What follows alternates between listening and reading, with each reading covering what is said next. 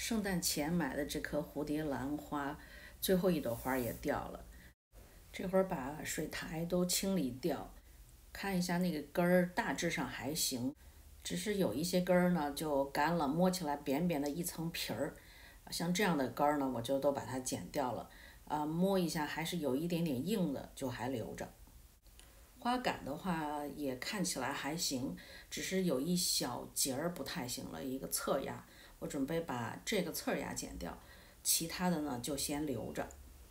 啊，之所以这个花杆留着，呃，一个是它看起来还挺绿的，另一个是我觉得这个季节也比较合适，因为我其他的蝴蝶兰也在陆陆续续的长那个新的花芽当中，所以我在想它这个留下的花杆会不会就会再重新发花芽啊？因为我记得去年大约也是这个。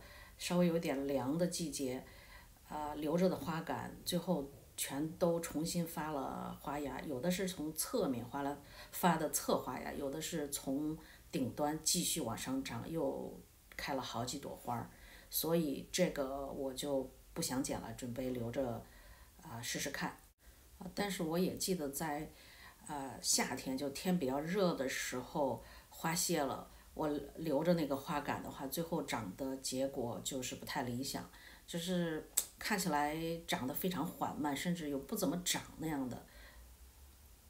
所以后来夏天那个花杆我最后是把它剪了。我想夏季让它休息一下，啊，等到温度合适的时候再重新长花芽吧。反正看起来它也不太像长的样子。嗯，找了个觉得大小差不多的盆儿。啊，就准备把它泡到水里去了。这一颗泡之前呢，我就把这个叶子洗了一下，因为我看着这个叶子上吧有点尘土，然后就连根儿带叶子都冲了一下，直接就在水龙头上冲的。啊，这花心儿里呢就会有点水嘛，我又找块纸把花心儿里的水吸了一下，叶子上的倒没太管它，因为这颗呢我就是准备养在室内了。啊，所以花心儿的水我还是洗干净吧，保险一点。另外把那个支撑杆儿也撤了。啊，这么一个竹子的支撑杆儿呢，暂时也没地方插，又没有花儿，觉得有也没有什么意义。嗯，这个杆儿撤了以后也还是立着的。先长长看，如果将来真的重新长了花芽儿需要支撑的时候，我再想办法。我不是说夏天的时候那个花杆儿，我看它不太长，给剪了吗？我也没直接把它扔了，就这样把它插在一个杯子里，呃，底下放了点水，看看它能不能插活。现在你看这三段的情况呢是颜色三个样，一个彻底黄了，一个是有点黄，一个是还有点绿。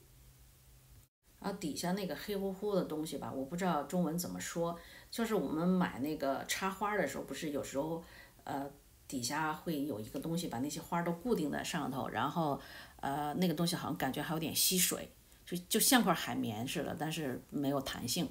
我只是正好碰巧手里有这么个东西，啊，我就掰了一点放底下，啊，就是用来固定这些花杆的。我也不知道这个会不会最后成活，但是反正剪掉了嘛，扔掉也是垃圾。那么试一下，成就成，不成也没关系。我之前在天气比较冷，差不多就是算冬天吧，啊，也有的花杆是剪了，我也有这么插过，呃，都没活，最后就全部黄掉，我就扔掉了。这个呢是夏季剪下来的，啊，也有几个月了。到现在为止，因为我看到还有一颗，呃，有一杆儿是绿的，所以我就还在等着它，成不成的，反正再等吧，等到要么就成了，要么就全部，呃，转成枯黄之后，我再把它扔了吧。嗯，那个杯子壁上那些水珠吧，不是我喷上去的，呃，是自己挥发粘在上面的。哦，我是放在北窗下。